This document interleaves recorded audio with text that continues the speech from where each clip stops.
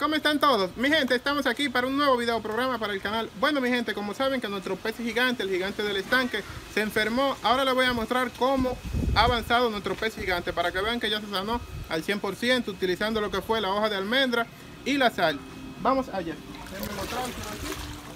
Para que vean lo saludable que está nuestro pez. Miren aquí el gigante del estanque, cómo está. Si ya lo pueden ver, ya nuestro pez adquirió su legendario color como antes. Le pueden ver su boca, que en la boca se inyectó aceite de avión. Y miren cómo ya la tiene saludable. Nos sigue mirando con los ojos, sus aletas, ya la tiene saludable.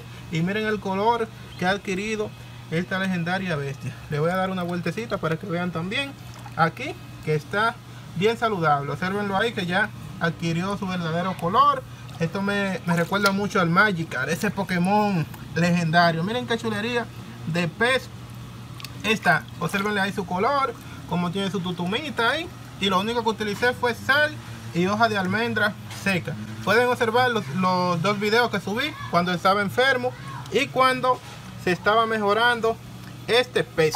Ahora sí, lo voy a soltar aquí para que vean cómo se va nadando y lo saludable que está este animal.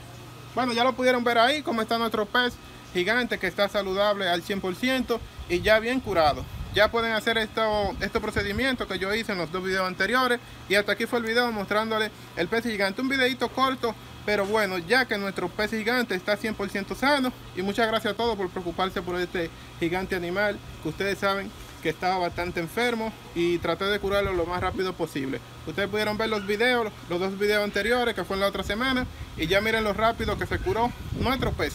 Bueno mi gente, hasta aquí fue el video. Si el video les gustó, recuerden darle like, suscribirse a mi canal y compartirlo con sus amigos. Muchas gracias a todos por su tiempo.